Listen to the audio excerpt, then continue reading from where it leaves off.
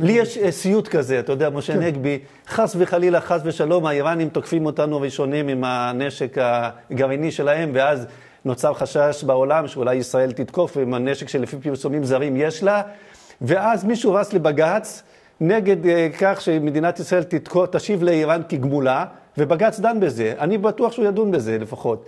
אני לא יודע מה תהיה ההחלטה שלו, אולי גם הוא יחליט שאסור לעשות את זה. תנוח דעתך, אני יכול להרגיע אותך, תישן טוב בלילה. אין שום מצב. כי כבר היו דברים מעולם. שבג"ץ... תראה, הוא דן בהפצצה הזאת שם בעזה, שישראל הפציצה איזה שים לב שהוא דן בדיעבד, מעולם לא מראש. מעולם לא מראש. 400 מחבלי חמאס שרצו, גם בדיעבד, בדיעבד. הוא נאלץ להחזיר אותם בסופו של דבר בגלל זה, רבין, ואז הוא אמר בלי בג"ץ, בלי בצלם, והלך לתהליך אוסלו. לא, לא, זה, אני אתקן אותך עובדתית, אם יורשה לי.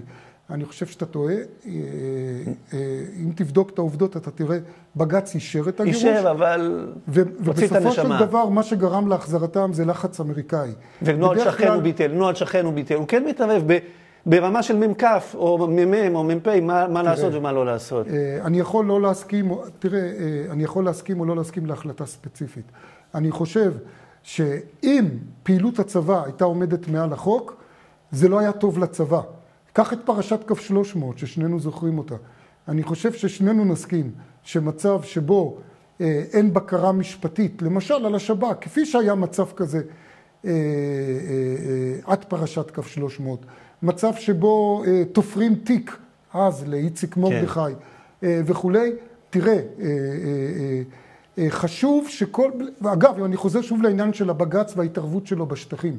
אחת הסיבות, תראה, אם אתה בודק סטטיסטית, בג"ץ כמעט לא התערב בהחלטות של הצבא בשטחים.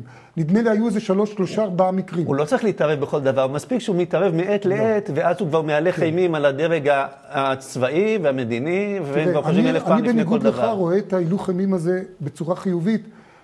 מתוך זה שאני אומר, טוב שהצבא ידע שמישהו מסתכל עליו. אגב, אני בזמנו ראיינתי את שמגר כשכתבתי את הספר על הנושא הזה, שהוא, כי הוא קיבל את ההחלטה אגב. שמגר קיבל את ההחלטה כיועץ משפטי להסכים, שהמדינה תסכים שבג"ץ יתערב בענייני השטחים. אני בזמנו בדקתי את זה. ושאלתי אותו למה הסכמת את זה, והרי שמגר היה ביטחוניסט בכל רמ"ח כן. איבריו ואיש צבא. והוא אמר לי, דווקא בגלל שהכרתי את הצבא, רציתי שיהיה איזה בקרה אזרחית חיצונית על הצבא. אני מכיר את הצבא, אני לא רוצה שהכוח שלו יהיה מוחלט. כולנו מכירים את הביטוי, חגי, כוח מוחלט משחית לחלוטין.